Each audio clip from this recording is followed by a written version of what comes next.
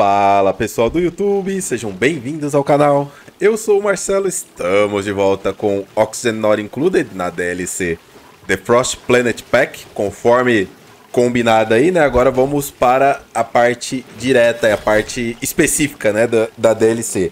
Hoje vamos falar sobre as novas plantas. Eu só queria fazer uma correção histórica aí, né? Porque eu chamei o Lumen Quartz de planta, mas não é uma planta, tá? É uma estrutura é uma nova entidade do jogo que é luminosa, né? Ele se encontra no bioma dos, dos Bamoff aqui, né? E não é uma planta, tá? Ele é uma estrutura que ele tem uma opção ali de ser escavado, né? né? É, diretamente na rocha. Deixa eu até mostrar pra vocês aqui como é que funciona. Aqui, ó. Você vem aqui, é como se você escavasse, né? O duplicante vem e faz o... o... Ih, peraí que eu acabei escavando aqui sem querer. Vou trazer pra cá de volta. Pode colocar aqui? Pode tirar aqui o debug, senão fica difícil, né? Olha lá, aí aparece a tarefinha ali e o duplicante vem e faz como se fosse um, um entalhe, né? Olha lá, ó. É tarefa de escavação, tá? Não é tarefa de decoração.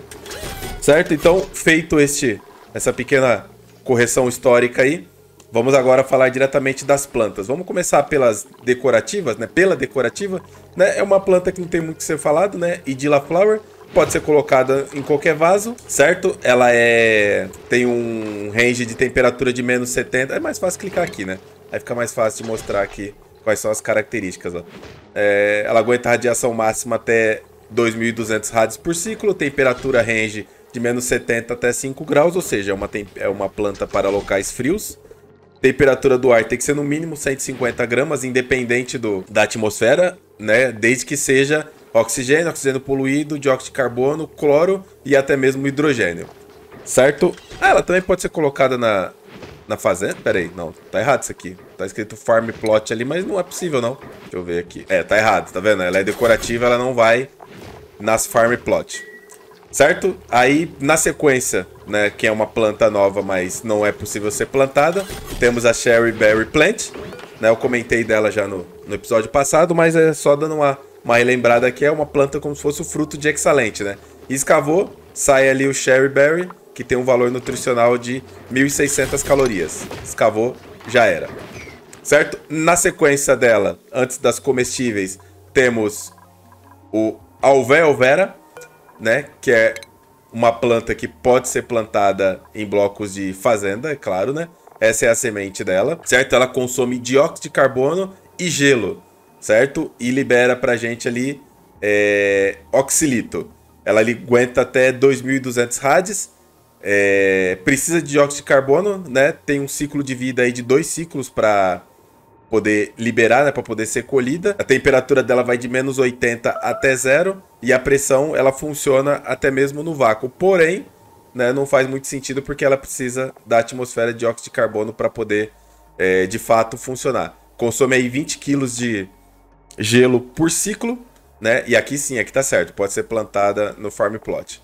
É, efeito dela, ela consome 500, tá? Mas isso aqui é o que ela tá mostrando aqui, são os efeitos dela é, selvagem, tá? Que é dividido por 4, né? 25% só do efeito seria essa daqui, ó. Que tá consumindo 500 miligramas ali de, de... Que seria meia grama, tá? Isso aqui é igual a meia grama. Uma dessa daqui normal aqui, tá vendo? Ela plantada e você fornecendo gelo para ela, ela consome 2 mil miligramas, que é a mesma coisa que o duplicante exala, tá? Para quem não entendeu, esses 2 mil é, miligramas aí são 2 gramas por segundo. Ó. Se você vier no duplicante aqui, me dá um duplicante aí. Vem cá, abre. Aqui, ó. Se você for aqui na parte do... Aqui, ó. Exalando, tá vendo lá? Ele tá exalando exatamente o que ela consome, ó. Ou seja, alvéolvera é um para um aí com os duplicantes. Então, cada alvéolvera que você tiver é, em cima de, um, de uma fazendinha e estiver sendo cuidado, tá conseguindo é, cancelar a quantidade de dióxido de carbono que apenas um duplicante exala. Deixa eu ver aqui se faltou alguma coisa nela. Opa, cliquei no lugar errado. Ah lá, já está sendo colhida, certo? E o que que colhe dela? Aqui embaixo aqui vocês vão... É, não está mostrando quanto ela tem disponível aqui, mas eu vou tirar essas coisas da frente. E isso aqui também certo? E aí vai sair dali de dentro o nosso bom e velho oxilito, 36 quilos de oxilito. Eu acredito que é sempre essa quantidade, 396, pera aí, Olha, ele vai colher aqui de novo, ó. Aqui deu semente e 36 quilos de oxilito, tá? Então toda vez que eles. É a cada dois ciclos, tá? Então a cada dois ciclos libera 36 quilos de oxilito e anula completamente o que um duplicante exala de, de CO2. Tá? Aqui estão as aplicações dela. 300, aqui tá mostrando por ciclo, tá? Essas denominações aqui são por ciclo. Então, por ciclo, ele consegue consumir 300 gramas é, de, de dióxido de carbono, 20 quilos de gelo, certo? E ele fornece 18 quilos por ciclo, ou seja, 18, 18, 36. Então a conta ali tá fechando certinho, tá? Então é uma planta aí. É... Como é que eu posso dizer? Ela é útil, é uma planta é muito mais útil que a Oxymambaia, por exemplo, né? A Oxymambaia. Talvez isso aqui é.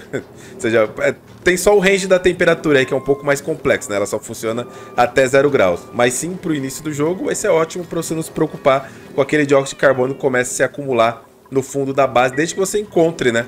Sementes o suficiente de alvéolo né? Que aqui eu tô no, no debug, né? E aí você sabe como é que é, né? Debug aceita tudo, é um papel em branco. Certo? Mas é uma plantinha interessante, eu gostei da mecânica dela, é, é legalzinha, não é de tudo inútil, não. Certo? Agora vamos para a próxima do bioma inicial, que aqui já se trata das comestíveis. Estamos falando da Pike Apple Bush. Essa bonitinha aqui.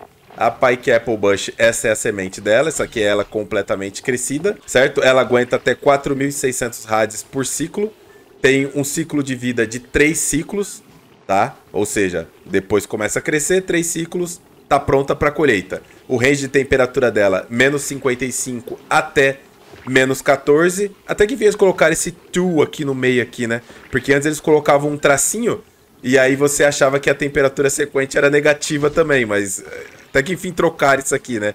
Então agora é de menos 55 até menos 14. É, a pressão do ar mínima é 50 gramas de oxigênio, oxigênio poluído ou dióxido de carbono.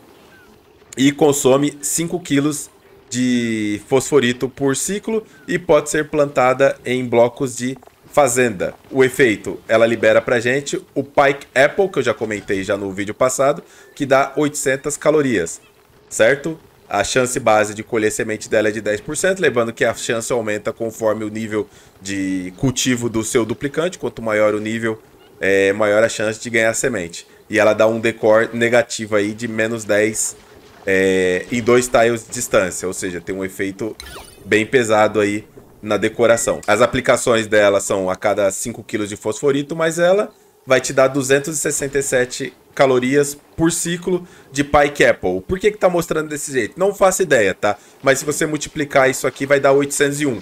Você multiplicar por 3. Não sei porque que eles mudaram a, maneira como mostra isso aqui. Talvez seja para igualar as, as grandezas, né? Que seria ciclo aqui, né? Mas tudo bem.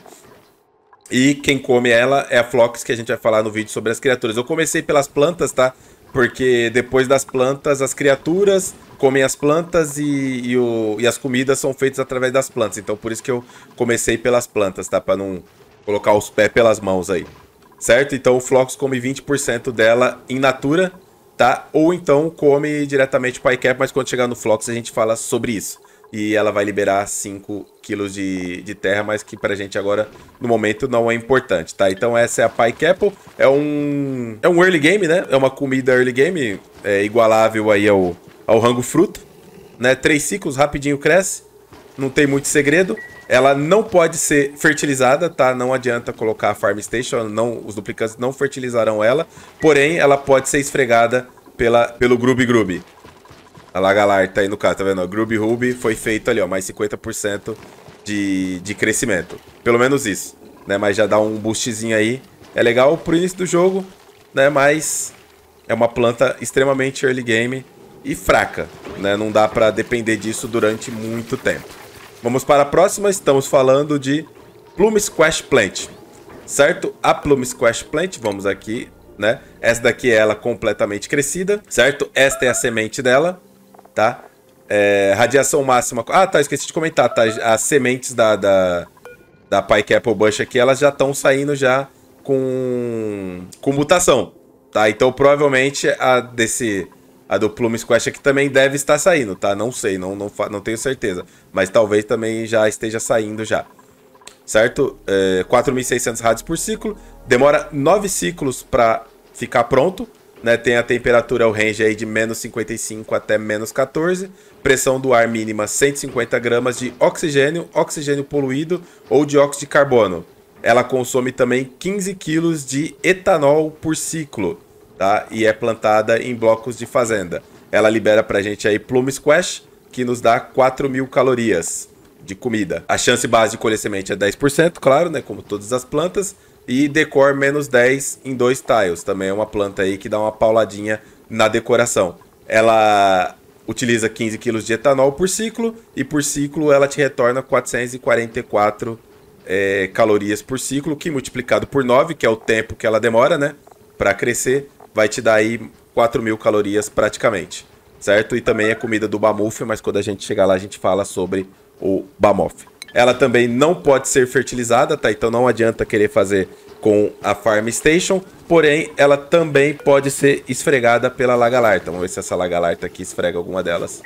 Temperatura aqui saiu fora do range. Pronto, temperatura no range de volta. É meio complicado, tá? O, manter aqui as Lagalartas nesse sistema aqui. Porque as Lagalartas elas só aguentam até menos 30, tá? Abaixo de menos 30 elas começam a levar dano, mas elas é, elas se esfregam sim nisso aqui. Deixa eu ver se eu consigo colocar uma aqui pra se esfregar. Olha lá, Gruby Ruby, ó. Tá vendo? Todas chegaram aqui já se esfregando na planta.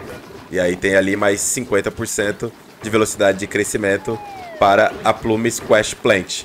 É, é uma planta interessante, tá? É uma planta que provavelmente aí você consegue levar é, ela durante o jogo inteiro, tá? Como, como fonte de alimento, porque é uma grande quantidade de caloria que ela gera e mas se você for dividir pelo tempo dessa daqui, né? Essa daqui ela geraria a cada três ciclos, mais ou menos aí umas 1.300 calorias, né? A cada três ciclos, enquanto a, a Pike Apple ela vai te dar 800 calorias, né? Então, como ela demora nove ciclos para ficar pronta e dá 4.000 calorias, ou seja, duas dessas daqui não é o suficiente para manter um duplicante vivo. Então, seria no mínimo três, né? A soma total disso aí. Tá certo essa conta, Marcelo? É, tá certo, né? Porque duas em nove ciclos daria 8 mil calorias.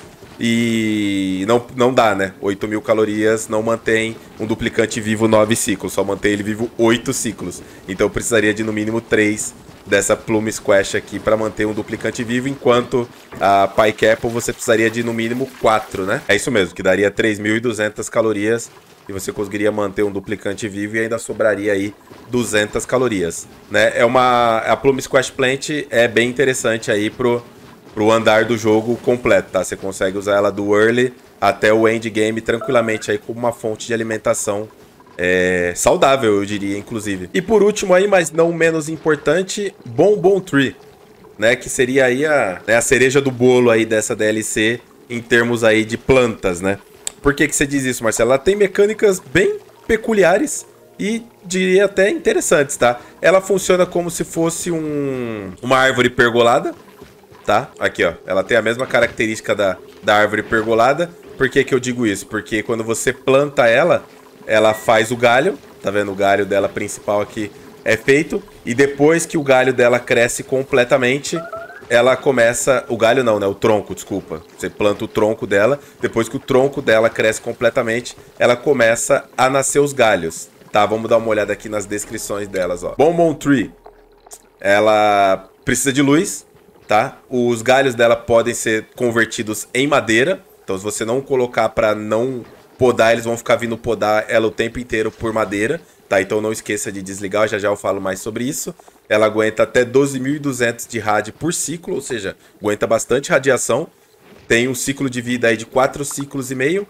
O range de temperatura é de menos 75 até menos 15, né? Ou seja, local bem frio. A atmosfera que ela aguenta oxigênio, oxigênio poluído, dióxido de carbono, gelo e vácuo. Por que gelo, Marcelo, você está dizendo? Já já eu explico melhor sobre isso.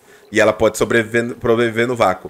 E ela tem é... E ela consome 100 quilos de neve. É, é a neve aqui, eu falei gelo, né? Desculpa, neve.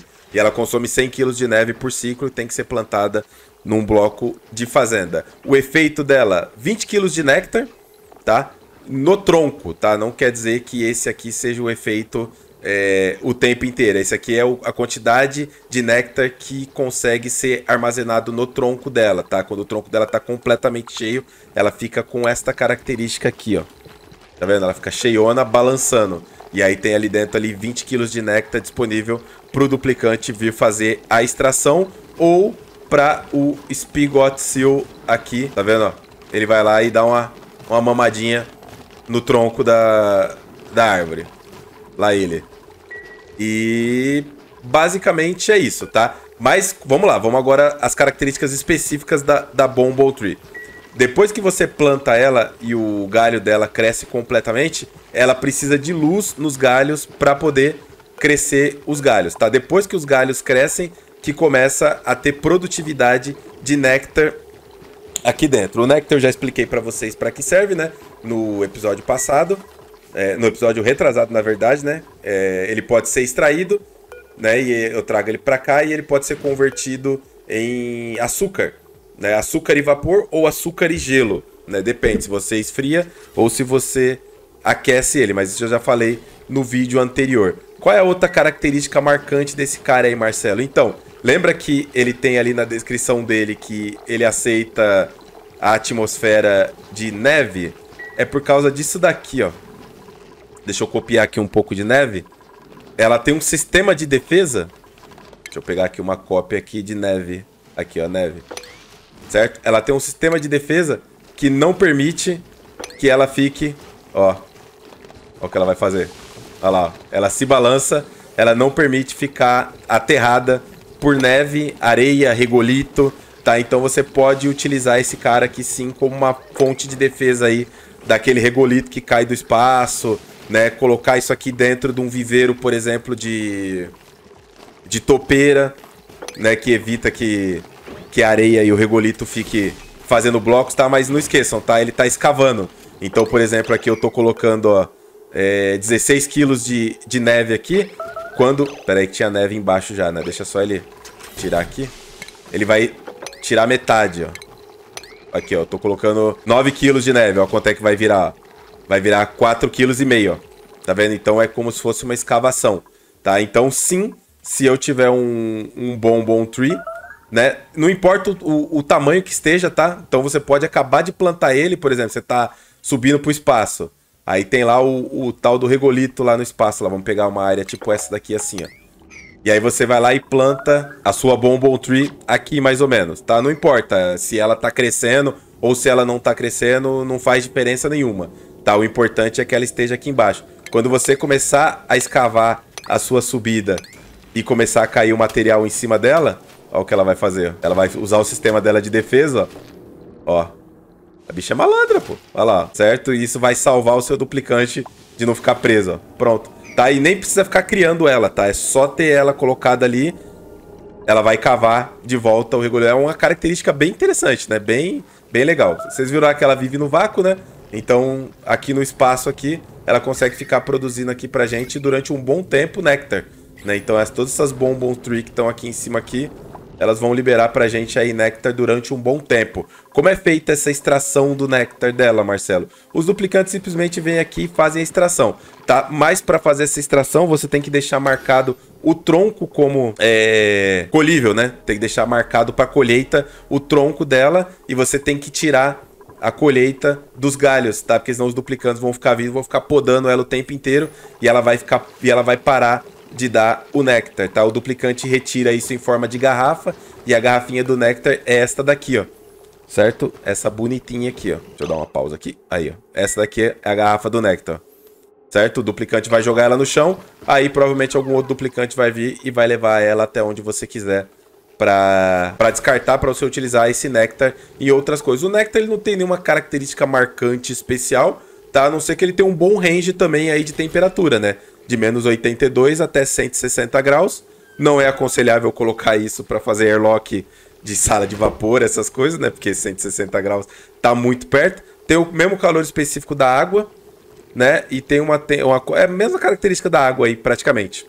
Certo? É, basicamente, não, basicamente não. Tudo que tinha pra falar a respeito das plantas era. Deixa eu ver se eu esqueci alguma coisa aqui, só um minuto. Ah, tá. Importante. É, segundo a estação aqui de, de, de agricultura, Tá escrito aqui que a Bonbon Tree... Aqui, ó. Será que eles removeram agora? Não, aqui, ó. Tá aqui, ó. Tá escrito aqui que a Bonbon Tree, ela pode ser é, fertilizada. Porém, não tá acontecendo. Tá? Os duplicantes não estão fertilizando ela, mas a Lagalarta se esfrega nela sim. Tá? Não se esfrega nos galhos. Deixa eu ver aqui só para ter certeza. Deixa eu jogar mais alguns Grooby aqui, ó. Vamos ver, ó. Olha lá, tá vendo, ó se você não marcar para não...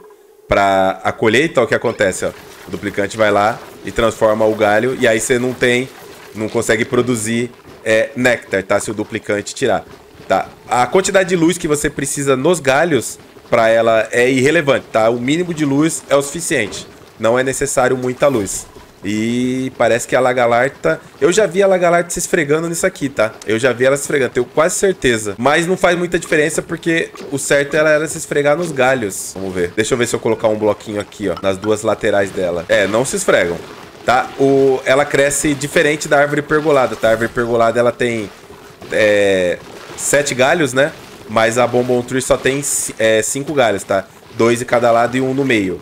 Tá? Esse bloco lateral aqui dela aqui não afeta o crescimento dela e pelo visto as lagalartas também não se esfregam nela. Então você não tem nenhum bônus por pela Farm Station aqui, né, pela estação de agricultura ou pela esfregada da lagalarta, pelo menos por enquanto.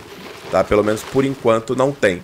Aí aproveitando aqui esse vídeo, né, deixa eu comentar para vocês a respeito de algumas mudanças que ocorreram aí em hotfixes né? E, e, durante aí o, esse tempo aí que eu fiquei de gravar entre um episódio e outro. Vamos lá. Foi inserida mais uma estrutura no jogo, que é o Oxylites Conce, que é esse cabra aqui, ó. Pra que, que serve isso aí, Marcelo?